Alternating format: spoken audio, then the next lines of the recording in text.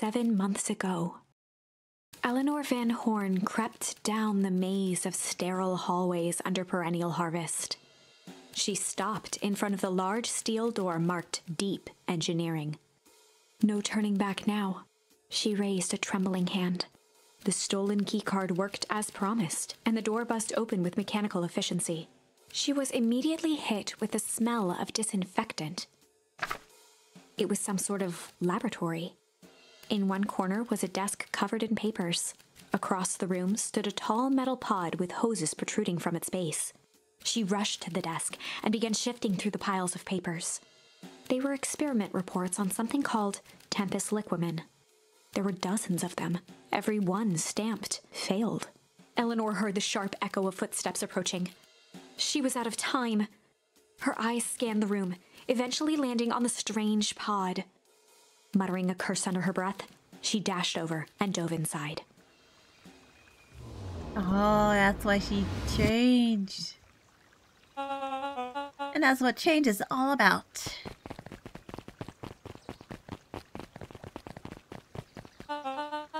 Growing future by the scruff of the neck and making things happen.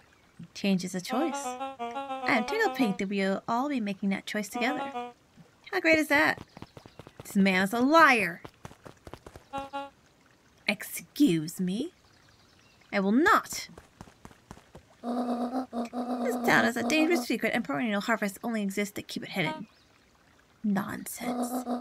They picked up the whole damn town and moved it right under our noses. You aren't making any sense, dear. Mr. Kerr addressed the crowd with a sarcastic tone. Imagine such a thing. Absurd and just plain impossible. They promised they could fix the foul harvest. They told us they would clean this place up. We just had to leave town for a few days. While they had us evacuated. though I said! I said they could have done something in the week. In the week everyone was gone in the hotels. Mrs. Hartford, I'm afraid I'm going to have to ask you to. You're afraid of a lot of things, aren't you? You sniveling little worm. This is growing tiresome. A little help, please. Don't you all see? This festival's a sham. An excuse to have the whole town gather in one place. They're planning something awful. I don't know what, but these people are wicked. Listen to her. She has absolutely no proof. I am the proof. I'm Eleanor Van Horn. Whispers filtered through the crowd. Well, aren't you just sneaky as the Dickens? We all knew Valentine's fertilizer was too good to be true. And now this whole town is paying the price. Ladies and gentlemen, I am so sorry about this disruption. As if she will take care this obviously disturbed woman somewhere comfortable, so that she can get the help she needs. She's not the one who's disturbed. You two-timing clown. We all noticed something wrong with this town. Uh, it was just easier to look the other way. The truth is...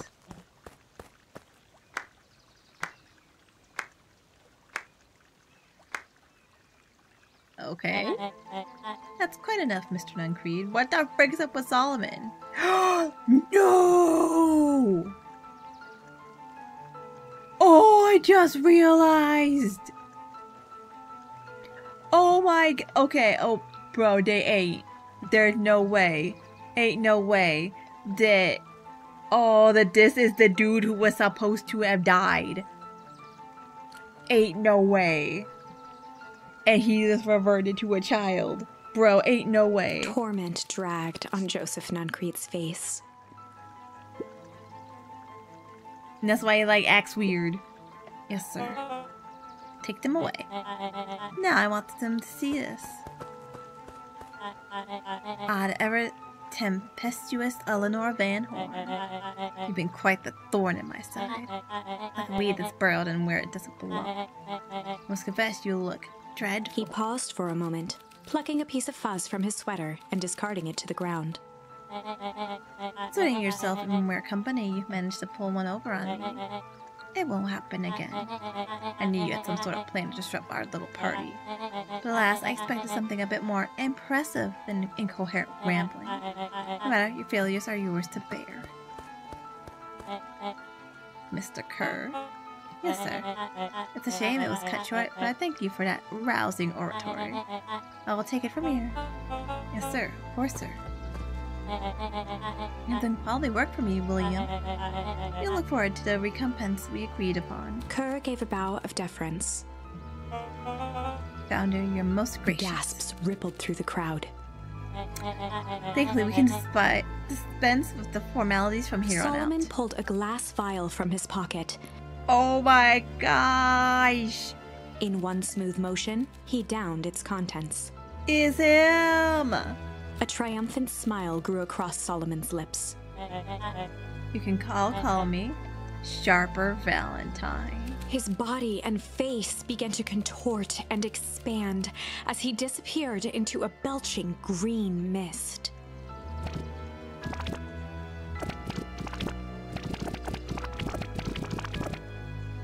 A hushed horror gripped the crowd. This is a story about change. What? No! So does this mean we can turn uh his mom back? Ah, so you didn't see that coming. Good. Sharper examined his new hands. This is quite the improvement. Everything looks so much smaller now. Oh, Eleanor was right about one thing. This festival will look bruised. Wanted you all to witness my glorious return with your own eyes. Why does everyone look so downtrodden?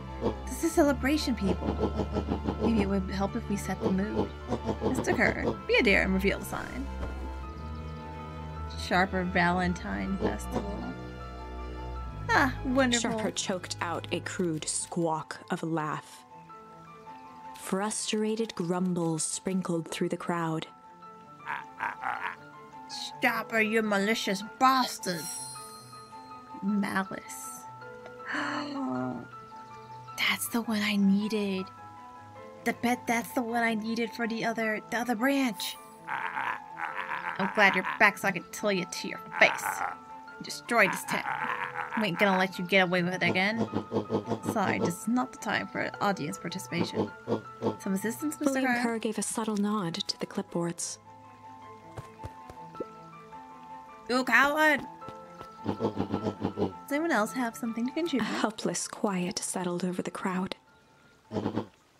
I thought so. Did you all truly believe you could be free of me? A town of complete and utter fools. You people should be celebrating my return. You're clearly lost without me.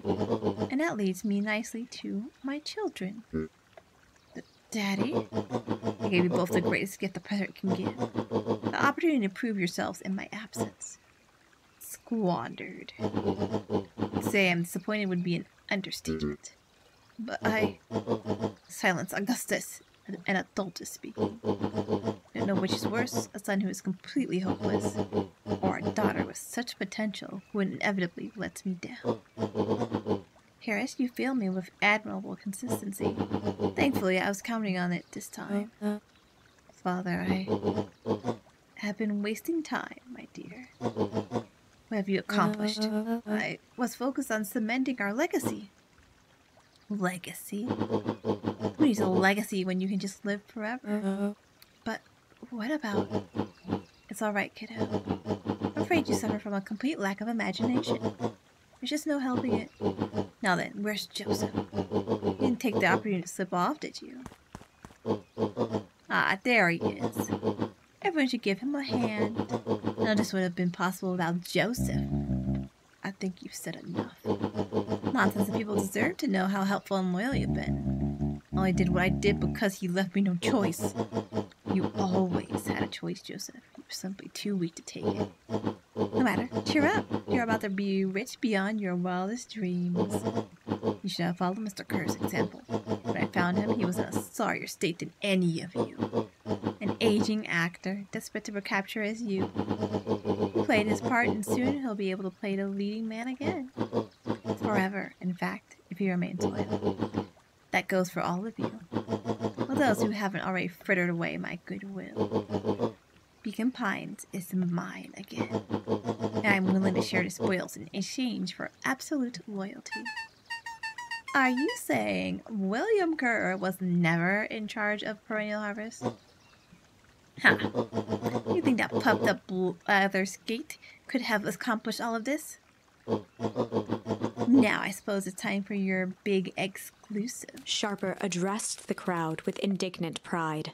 He'd planned this moment for so long that now, at the deed's fruition, it almost felt frivolous. You see, I needed a figurehead to hold things down while I orchestrated my return. Someone to misdirect, lie, built this town for a spell. So I invented William Kerr. Take your bow, you've earned it. Mr. Kerr flourished a preposterously elaborate bow. Uh, Patrick C. Montesquieu. SBA sir. Nah! We read about him in the, in the thing. He wrote the book about himself. Bruh. Fun, I just want to thank you again for this opportunity. It truly was the role of a lifetime. Wait. Wait. So this Bill Kerr was a patsy the whole time? Now that your secret is out in the open, what's to stop this town from rising up against you? Oh, that's the delicious part. Fear. Thanks to our clipboards, I know what each and every person in this town fears the most. I will make those fears manifest for anyone who steps out of line. Choice is simple. I'm not afraid of you. Ha, huh, the young hero. Look at the keen eye, eye on you, boy. Your friends made a habit of disrupting my plans. What a pity. Things would have gone a bit differently. You might have had your moment of triumph. But that's fate for you. You can't do this. Oh, but I can. I have won. Never underestimate what a great man can do given time. Now time is my plaything. Perhaps the most expensive thing I've ever bought. But well worth it. Sharper coughed up one final laugh and cracked his knuckles. Enough chit chat. Let's get to work, shall we? And so, Sharper set about remaking the town in his own image. The fertilizer factory soon reopened for business. Sales rose steadily as more and more farmers across the countryside began to swear by its miraculous properties. Beacon Pines became famous, a secretive town that, for the right price, shared its gifts with all. Gifts that became more and more necessary in a world where winters grew longer and longer. The end. This is wrong, but things are becoming clearer now. Yeah. You can feel it, right? We can't let Sharper win. He might just be the key to this whole thing. Let's see. Alright. Wire dice. We have the final one, I bet. I bet, I bet, I bet. I bet. Yes! I was right. Me going in.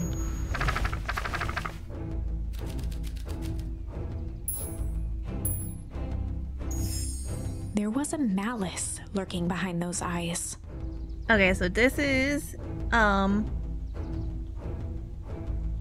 this is the timeline where Rolo is missing.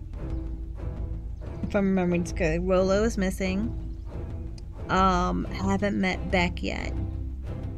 I don't think. Yeah, haven't met Beck yet. Rolo is missing. And now this is when Luka got kidnapped before. Like a trap ready to spring. Luka felt the weight of Nuncreed's hand on his shoulder. Something wasn't right. He didn't know why, but something was telling Luka to get out of there.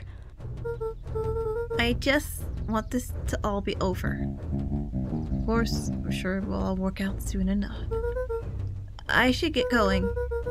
I told Roxy I'd check for Rolo at the treehouse. Luka twisted free of Nuncreed's grasp. Of course. Mm. Luka, you know your dad and I were good friends back in the day. You can come to me with anything. Anything at all. Book it! Book it! Book it! Book it, book it, book it, book it. get to a, a safe area. Dude, this is a trip. Okay, so now we still gotta find Rolo. Homie's still missing. Oh, there's. Who's he talking to? Is that another, like, reverse person? These festival decorations are a bit humdrum. Now, if I were to throw a festival, it would be a thing to behold. I agree this is all more than a little sad. It's worse than sad. Boring. But if we did a little something to spice things up, I'm listening. Know that festival sign waiting to be unveiled? It would be a shame The if two scurried off, eagerly formulating a plan. Who is that? Who's he talking to?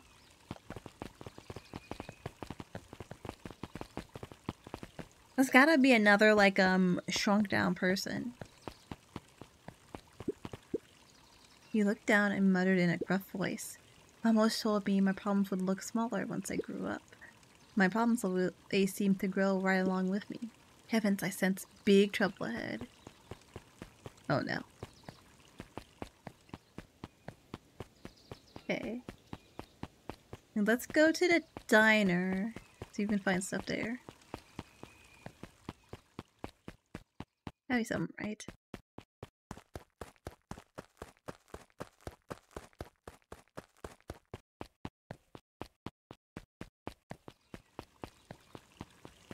Can I go inside the diner? No, ah.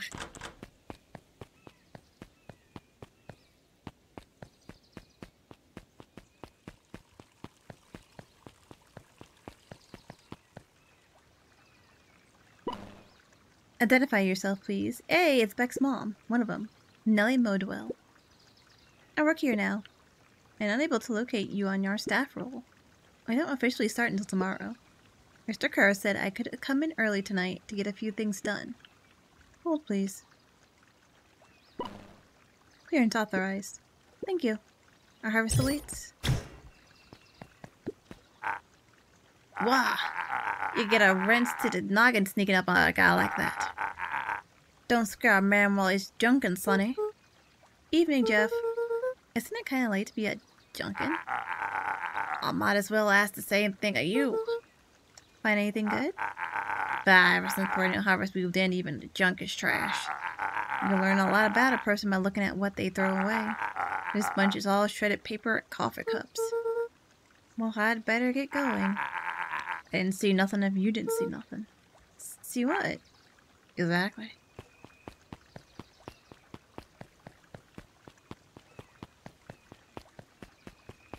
This dude? I swear, man.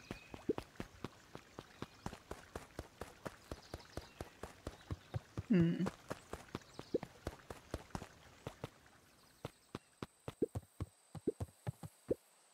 Hey, Jetson. Have you seen Rolo come but this way by any chance? Right not. Let's lose Sylvester fish in east of your pond. Let's check, see if we got any new stuff. Nope. Luka gently but first. Not yet.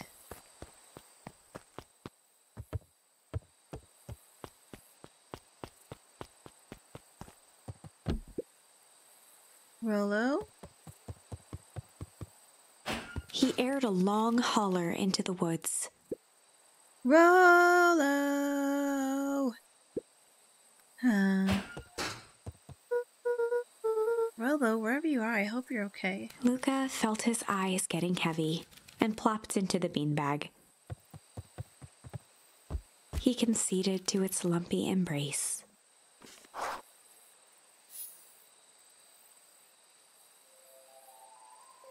Once again, Luka found himself in a vast black expanse. This time, he knew exactly where to go. He took a single confident step forward. The world flickered and pulsed.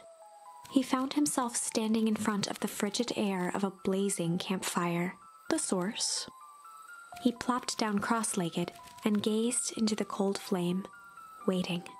Soon enough, the fire began to die out, popping sporadically, until all that was left was a single ember. Luka stood up and dusted himself off.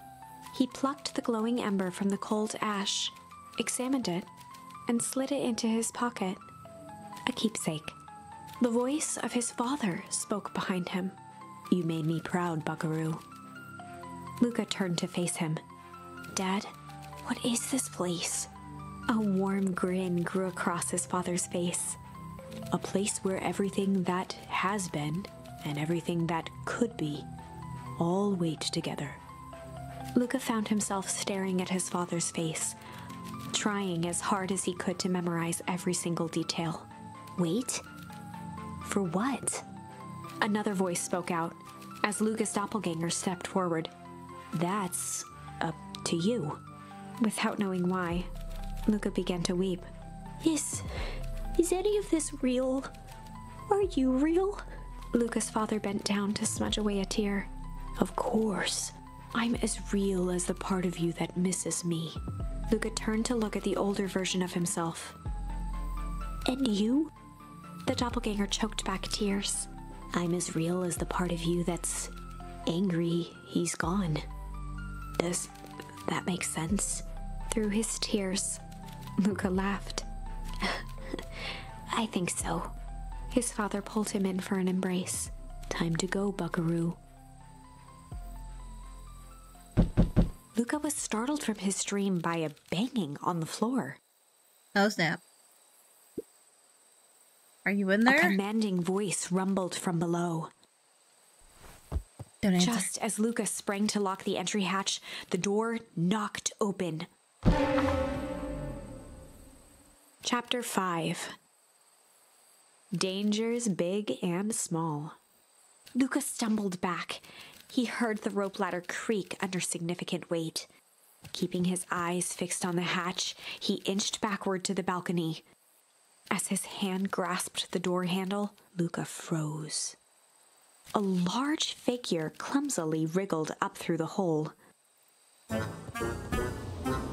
What? Stop right there. Or I'll. Jeez, I know it's dark and all, but I figured you'd recognize me. Rolo, what the frick happened? Did you fall in the goop? Who are you? The large figure cocked its head inquisitively.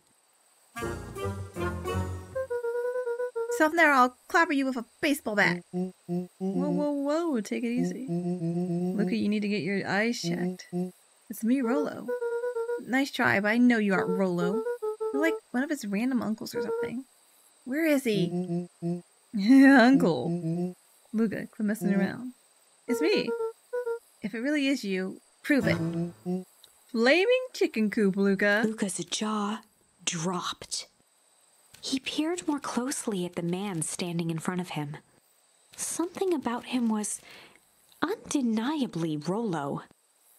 Only bigger, older, changed. Wow. What happened to you? When I was running away, I ran into more people in those yellow suits. They grabbed me and dragged me away. What? Where did they take you? No, they threw a bag over my head. It was cold and smelled like a swimming pool. I think it was an underground lab or something. They made my hands all big. Look. Rolo proudly presented his hands to Luka. Pretty sweet, right? Me, it wouldn't be my first pick for a superpower. But beggars can't be choosers. Rolo, this wasn't just your hands. My feet too. Dang, Pa just made me new shoes. Wait, Luka, why are you so small? Luka moved to the side and pointed Rolo to his reflection in the balcony window. What the? His hands shot up to his face. Holy Toledo! Rolo, did they do that? Did they do to you? They made me drink some sort of green crud. Ew. Actually, it wasn't too bad. It kind of tasted like licorice. Passed out and woke up like this. Then I sort of smashed open my cage and escaped. Whoa, you smashed open a cage? Kinda. At least I think I did. It's all a bit of a blur. They had you in a cage? Who are these people? I don't know who this is, this you, but we're gonna fix mm. it. Fix it? Mm-hmm. This is awesome! Well, I'm just glad you're safe now. Mm-hmm. Okay, you don't need to worry about me. Mm-hmm. Sure, I got snatched, but look at it this way. I got snatched, I knew where snatched people go. We may finally have a lead on what happened to your family. Maybe you're right, but this all seems dangerous. Danger? Rolo shadowboxed a few jabs. I'll take them all on. Hey, fellas, With what's up? yelp, Rolo dove behind Luka. Yeah! Take over! Did I come in a bad time? Who the heck are you? Oh, she dyed her hair. Oh yeah, because this is when um. Oh, so yeah, we did meet back, or something. Because like her hair got uh bleached, the the white it turned white the little the goop aged it. So I guess she dyed it blue. This is Beck. Sorry, something truly bizarre just happened and I need help. I didn't know where else to go. So you're just hanging out here with your large adult friend? Uh, no, this is my buddy Rolo. This is your missing friend? One and the same. He seems a little old. Have you noticed is a recent development? The heck does that mean? Um, I'm sorry, you're the one who just showed up out of nowhere. So we'll be asking you questions here. Mm, that's fair. How did you find us? You silly little treehouse? I think you mean our silly little mission control. I hate to break it to you, but your secret path isn't so secret. And I could hear your racket from a mile away. See, look at this is where why we need to improve security around here. Not now, Rolo. Beck, you said something bizarre happened? Yeah, but She shot a nervous glance at Rolo. anything you say around me, you can say around Rolo. It's been a weird day all around, hasn't it? Yep. Beck's eyes narrowed. Okay, so it all started when I made it back home. My first order of business was to try to salvage my hair. So I dyed it with some stuff from the chemistry set my mom gave me. Okay. Just need to play it cool. I hope no one notices. Notices what? Uh, nothing. I was just... Come over here and let me have a look. Oh, honey, what in the world did you do to your hair? This kind of felt like a change. It's going to take forever to grow out. You were the one who said that change was a good thing, right? I was talking about your mother's new job. I was talking about us moving. Well, I guess it just took your lesson to. Ilona tried to put on a smile.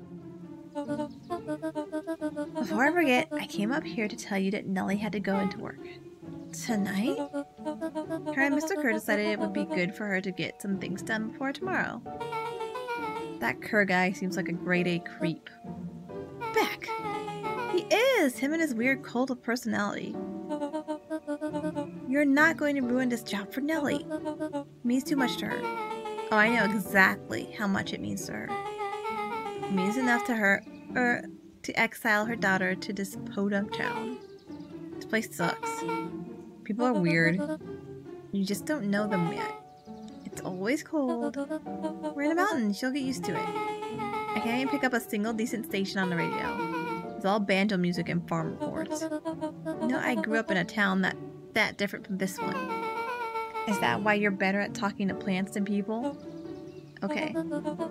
So here's what we're gonna do. First of all, you're grounded. What? In the morning, I'll have Nellie come and see what we can do about fixing your hair. You need to look presentable for the festival. But not another She sighed, and after a moment, looked down at Beck sympathetically. I know moving is hard, honey, but that doesn't mean you have to make yourself miserable all the time. Other people seem to have that covered for me. Oh, and if you decide to rebel by dyeing your hair more, She flashed a sly grin and tousled Beck's hair. I'll just shave it off for you. Think of how rebellious you'll look then. Very funny. Thank you. Nice, sweetie. Good night, Mom. Wait, wait, wait. First of all, the sound does not suck. Second, you need help because you got grounded. No. I'm sorry you got in trouble. It's my fault your hair got screwed up in the first place.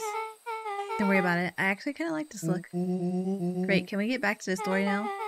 This next part is the important bit. I have this radio I upgraded with my mom. I was too angry to sleep. So I tried to dial in something worth listening to.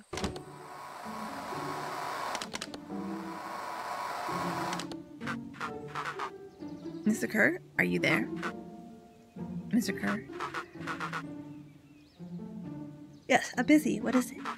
Apologies, I have the founder on the line. Patch him through immediately. One moment. Uh oh. Oh, sir, it's so nice to hear from you. Skip the pleasantries. What's your report on our new lead researcher of deep engineering? Nellie Modwell seems to be integrating nicely. At this very moment, she's working to help us meet our deadline. She offered to work overtime before I even had a chance to suggest it. Excellent. And you have faith that she's capable of finishing the work left by her predecessor? Her work must be complete before the festival. I'll make sure she stays day and night until it's accomplished. Good, you know how I feel about those loose ends. Yes, sir. When she has finished the work, we need to make a determination regarding her long-term prospects in a company. Immediately, sir. So we have more time to fully bring people into the fold. You're in an endgame, Bill. After your failures with Dr. Prescott, I can't afford to take any risk. Of course, sir. No loose sir. When she, she finishes the work, she will either leave the office completely committed to perennial harvest, or she won't leave at all. Perfect. Sir, if I might suggest, maybe we should delay just for a bit. Oh? Yes, we seem to be rushing to hit this festival deadline, and rushing into things has caused some issues in the past. I see. Just understand I just want what's best for you. I'm eternally grateful for all that you've done for me. Bill, I'll make this very clear for you. I brought you in to make things run smoothly, not to have opinions. Of course, sir. Chin up, Bill. You're only a few days away from having everything you ever dreamed of. Yes, sir. Thank you, sir. Wow. Yeah. Just so we're clear. When they said loose ends, they were talking about murder, right? Like actually killing someone. Capital murder. Luka gave Rolo a quick elbow to the ribs. Who is this founder? I was hoping you guys would know. No, as far mm. as we know, Kerr is the top banana at Perennial Harvest. He sounded scared of this founder guy. So we have an even topper banana on the field. What the hell is my mom caught up in? Has she talked about the job much? Not really. She said she was working to come in and continue to work with someone she respected. Luka, do you think that body at the warehouse was the person Beck's mom came to replace. That which makes sense. Beck, it seems like Nellie's predecessor got um loose ended. I'm getting that impression. Okay, so we need to get your mom out of there before the festival happens. There's two ways. Two days away. Won't she just come home after work? That creep on the radio said they were going to hold her there until then. So if she's not coming out, you better go in and Beck get her. flicked a large sheet of paper out of her pocket and slammed it on the floor. Maybe this'll help. Mm. You have blueprints? Well, it's really just a welcome map from my mom's PH orientation day. But it shows the layout. Mm. She looks like sure looks like blueprints to me. Mm. Look, here's the reception area. There's a big room marked founder's office. It even has the XX mark. Guys, guys, guys. We have a deadline. We have an objective. We have blueprints. You realize what this is, Rolo right? started to wiggle with excitement. I think we're heisting. This is officially a heist. Chapter 6 The Heist.